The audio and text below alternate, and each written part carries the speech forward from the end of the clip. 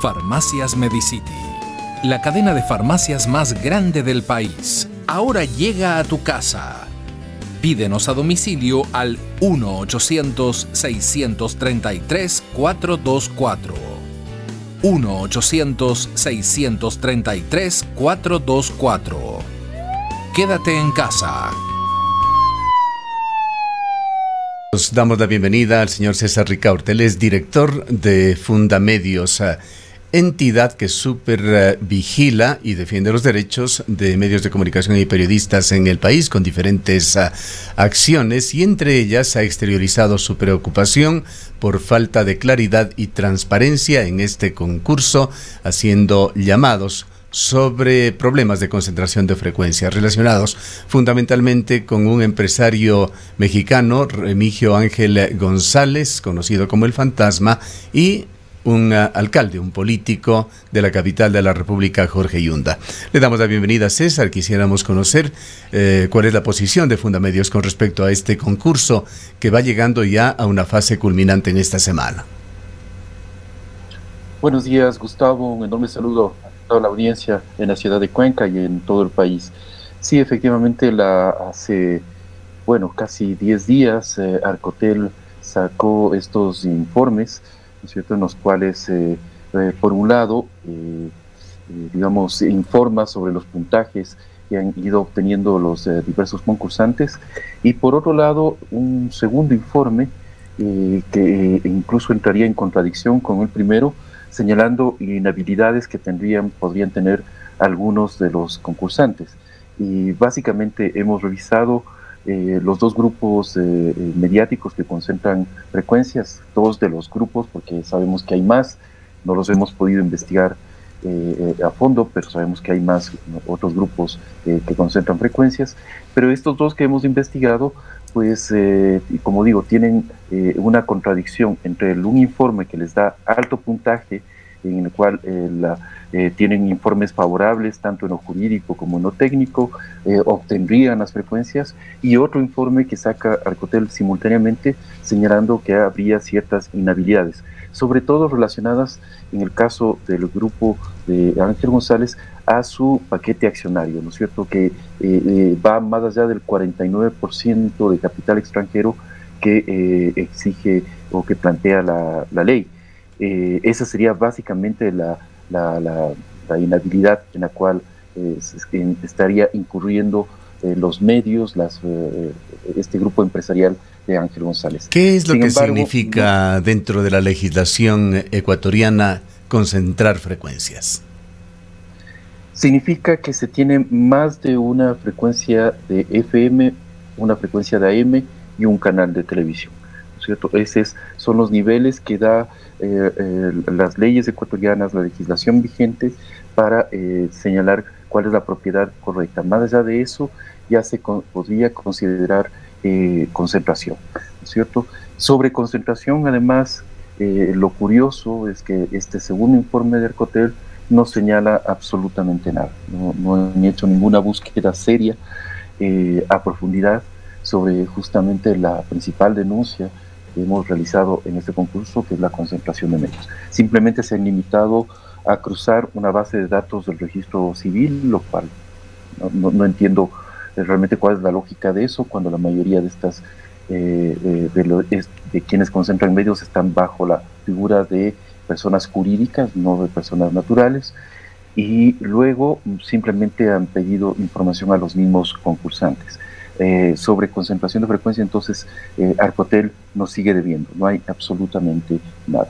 Y como digo, tampoco hay claridad sobre qué van a hacer con, los, con estos dos informes, cómo van a operar, ¿no es cierto? ¿Cuál va a predominar? ¿El informe de inhabilidades o el informe en el cual eh, en lo técnico, jurídico, ¿no es cierto? Y puntajes, hay una serie de ganadores que estarían también incurriendo en, por un lado, concentración de medios, por otro lado, eh, capital eh, extranjero que sobrepasa el 49%. Y podrían haber otras inhabilidades, por supuesto. César, muy buenos días. Eh, ¿Qué pasó con el informe de, la Contraloría eh, el año anterior, en el año 2019? Eh, el ministro Michelena dijo que se habían acogido todas las recomendaciones, sin embargo sería importante conocer algunos detalles de esto. En el tema de concentración, que era justamente una de las observaciones de Contraloría, ¿no es cierto? Había todo un capítulo y justamente Contraloría mencionaba estos tres grupos, ¿no? El grupo Contraloría los llamaba el grupo A, el grupo B y el grupo C, que se correspondían eh, justamente al grupo de Ángel González, al, grupo de Jorge Yunda y a un tercer grupo del empresario maravillista Lenin Andrade. Eh, lo que hemos visto en este concurso es que en ese sentido, en este sentido de concentración, que es quizás uno de los problemas más graves, porque no es solamente un tema técnico menor, ¿no es cierto?, como a veces se lo quiere presentar, es un tema gravísimo de libertad de expresión porque atenta contra la pluralidad necesaria en una, en una democracia. En ese sentido, eh, en este tema de concentración, es evidente que no ha habido ningún seguimiento del informe de Contraloría. Y la demostración más clara es que están ahí, o sea, siguen operando los mismos grupos con la misma estructura empresarial, como si no hubiera pasado absolutamente nada en el país. El ministro de Telecomunicaciones, como una especie de descargo con respecto a este concurso, ha señalado que uno de los documentos que se exige es una declaración responsable, que no deja de ser sino un acto de fe en el cual los ah, concursantes declaran cumplir con los requisitos establecidos en la norma vigente. ¿Qué alcances tiene este documento? ¿Qué importancia eh, reviste y protege realmente de alguna manera el interés público? Eh, Gustavo, como bien lo señala usted, es un acto de, buena fe, ¿no es cierto? Pero de actos de buena fe no se puede alimentar la, administración pública. La administración pública tiene que actuar conforme la ley. y en este caso es mandatoria, ¿no es cierto? Arcotel tiene una responsabilidad, el Mintel tiene una responsabilidad, no pueden actuar eh, a posteriori y basados en una declaración de buena fe, tendrían que actuar ya, o sea, en este momento, no, es que eh, eh, hay una posibilidad remota, ¿no es cierto?, de que exista concentración de medios en el país. En este momento, Gustavo y amigos, en este momento en el Ecuador ya hay concentración de medios. Y es una situación que se viene arrastrando desde algunas décadas. Eh, además del sector de la radio y la televisión, ha sido manejada como un botín político, por un lado, eh, como un botín de favores, de intercambio de favores económicos, por otro lado, ¿no es cierto? Y eso perjudica a los radiodifusores de buena fe, a, los, a la gente honesta, honorable, eh, que ha, emprendido cierto? En, en, empresas periodísticas, empresas de comunicación desde hace años, desde décadas, que han hecho un buen trabajo pero realmente eh, eh, vemos cómo el sector ha sido manejado de una forma absolutamente, eh, como digo, como un botín político. Y, esto sigue sucediendo. Entonces, lo que vemos es que hay una inacción total de las autoridades y que el concurso lo que hace es reforzar algo que ya existe, casi, consagrarlo, porque el concurso básicamente lo que hace es entregar frecuencias para los próximos 15 años. Entonces, durante los próximos 15 años vamos a, seguir con este esquema de concentración de medios eh, de un grupo, de un empresario mexicano, por, citar solo un ejemplo, ¿no es cierto?, que eh, a través de empresas de papel asentadas en el Uruguay, tiene una enorme cantidad de medios de comunicación en el Ecuador. Son ocho eh, matrices en radio, ocho matrices y 35 repetidoras. ¿cierto? Solo en radio, en televisión tiene muchísimos otros intereses. Entonces, eh, Gustavo, realmente es lamentable la inacción que han tenido las autoridades, tanto de Arcotel como del Mintel, en este tema. César, ¿cómo ha quedado esta mm, entrega equitativa que disponía la ley para el sector privado, para el sector comunitario y para el sector público en términos de frecuencias, considerando además que eh, las radios comunitarias, las radios públicas tenían eh, un otorgamiento adicional de un porcentaje o de puntos más bien que eh, les favorecía? En algún momento se llegó a decir que no hubo concursantes para este tipo de frecuencias. Sí, no se ha cumplido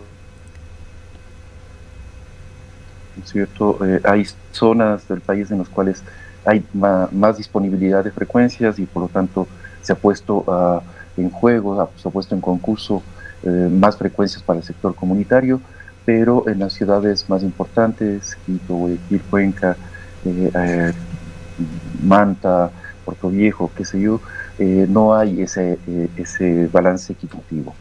Y, lamentablemente lo que vemos es que también en el, sector comunitario también se vuelven a repetir prácticas que digamos poco transparentes. Por citar un caso, en Quito la frecuencia 99.3 que eh, correspondía históricamente a Radio La Luna, ¿no es cierto? Eh, esta frecuencia que fue eh, devuelta por, los, por quienes anteriormente la administraban, ¿no es cierto? Que era justamente un grupo relacionado al ex ministro de Cultura Paco Velasco, el ex ministro en el correísmo, ¿no es cierto? vuelve a ser otorgada al mismo grupo, o sea, eh, ellos devolvieron una frecuencia, alquilaron una frecuencia, lo cual es eh, eh, un acto poco ético, irregular, ¿no es cierto? Alquilaron esa frecuencia a una radio deportiva y ahora vuelven a ganar la, misma frecuencia, ¿no es cierto? El mismo ex ministro del correísmo, Paco Velasco, le vuelven a dar una frecuencia comunitaria. ¿Cómo se explica uno eso? O sea, ¿cómo de los ganadores, entre comillas, del, concurso. ¿Quién, ¿Quién estaría en realidad manejando esta frecuencia que fue de Radio La Luna? Es el mismo grupo de, como digo, del, señor Paco Velasco y de ese grupo que, ya, eh, ya tuvo Radio La Luna, la alquiló, ¿cierto? Devolvió la frecuencia, la alquiló, eh, eh, cometiendo una irregularidad cierto? Y ahora vuelve a obtener. Le, entregan, además, o sea, eh, en lugar de castigarlo por haber cometido esa irregularidad, le benefician con 30 puntos de experiencia, puntaje extra por años de servicio, todo, todo ese esquema que se inventaron, ¿no es cierto? Y le vuelven a entregar la misma, la misma frecuencia. Ahora, esta situación ah, general y que ha motivado la preocupación y la denuncia desde Fundamedios, obedece a falta de capacidad de control de la autoridad por resquicios que deja la normativa o se debe hablar directamente como una situación de tráfico de influencias? Eh, lo que tenemos, eh, Gustavo, o sea, yo no podría, no tengo las pruebas suficientes para acusar de irregularidades a las actuales autoridades, pero eh, es evidente que hay una inacción eh, es evidente que el sector ha sido manejado como un botín político, que incluso en las investigaciones que hemos hecho eh, detectamos que entre el 2011 y el 2014 hubo pago de sobornos por parte del grupo de Ángel González a funcionarios e incluso a exministros, ¿cierto? Eso se ha producido, eso está documentado, ¿cierto? Nadie nos ha podido decir eso no es cierto. Eh, y tenemos exactamente la misma, eh, la misma situación en el 2020. Yo no quiero sacar conclusiones, como digo, no tengo las pruebas para acusar a las actuales eh, autoridades, si las tuviera lo haría, no tengo esas pruebas, pero realmente sí vemos que hay un manejo del sector eh, bastante opaco, y sin ningún esquema técnico, ¿no es cierto? Y que se sigue manipulando esto, esta clase de concursos. Con ah, este modus ah, operandi que se sugiere en, los procedimientos, ah, ¿podría, sin embargo, estarse configurando una figura de carácter legal que puede ser penada incluso con prisión, eh, la de testaferrismo? Así es, eh, hay varias figuras eh, que, se pueden penar. es lamentable que el concurso el actual concurso incurra en las mismas prácticas que el anterior concurso de, frecuencias del 2016. Recordemos que ese concurso fue dado de baja, ¿no es cierto? Y motivó justamente el inicio de acciones penales que no sabemos en qué, terminaron o si siguen en adelante, ¿no cierto? Pero vemos, por ejemplo, ahí mismo eh, que eh, Arcotel inicia un proceso de reversión de frecuencias de varias de las, eh, de las frecuencias están relacionadas al grupo mediático del alcalde de Quito, Jorge Yunda.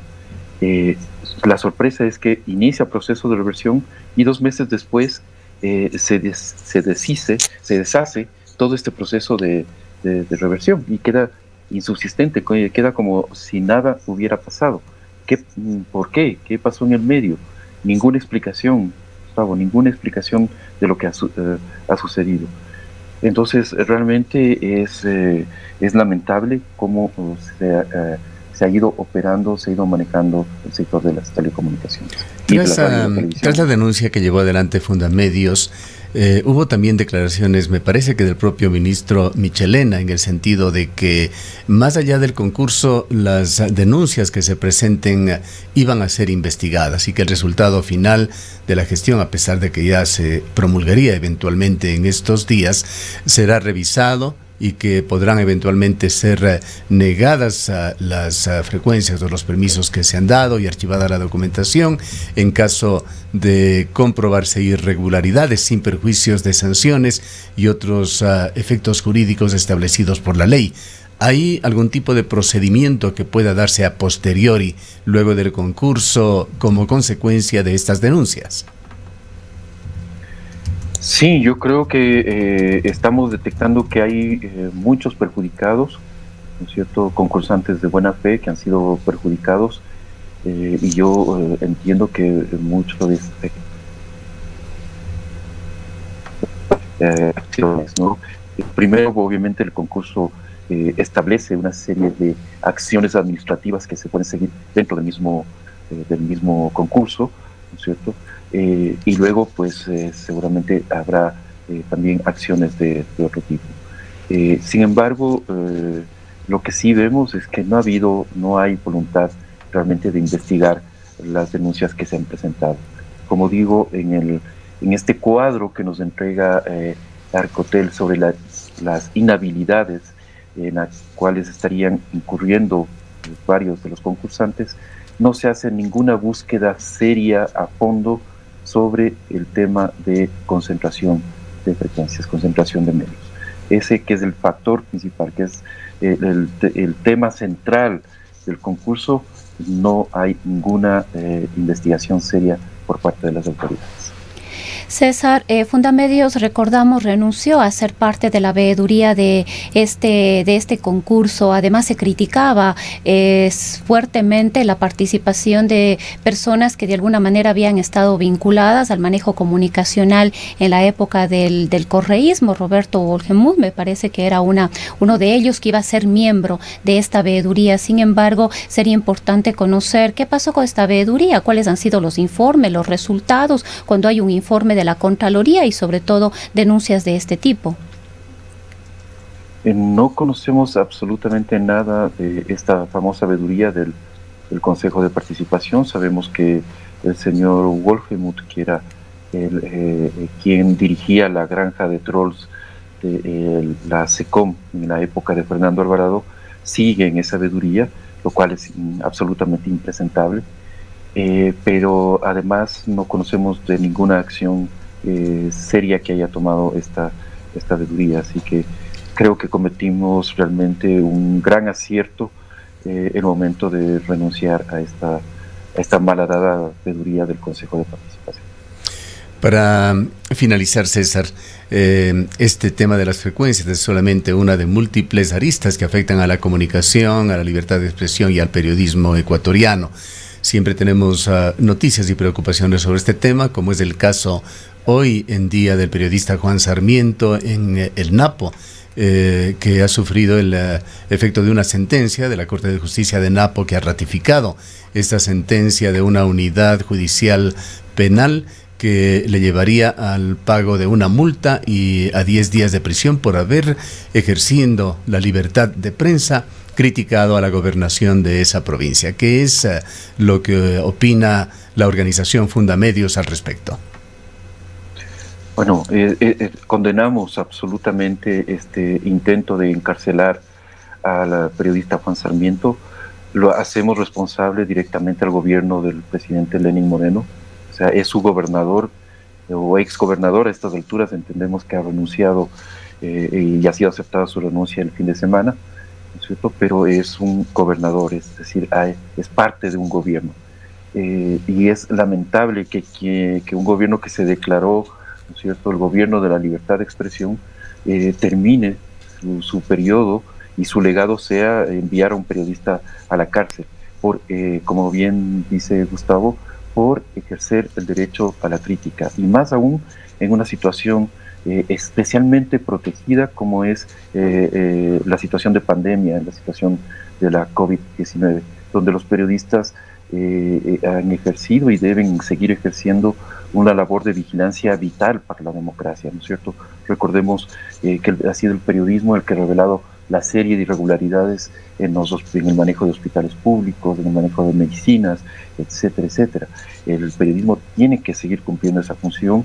Eh, eh, este encarcelamiento o este intento de encarcelar al periodista Juan Sarmiento es nefasto porque además envía un mensaje, ¿no es cierto?, al resto de, periodistas eh, envíe un mensaje de silencio, de, de, que se callen, cierto? de que no critiquen a los gobernadores y eso realmente es eh, una situación inaceptable eh, para, para, una democracia, para un, país como el Ecuador. Queremos agradecerle al señor César Ricaurte, él es director de Fundamedios, Fundación de Supervigilancia y de Asistencia también a medios de comunicación con diversos programas que lleva adelante aquí en Ecuador.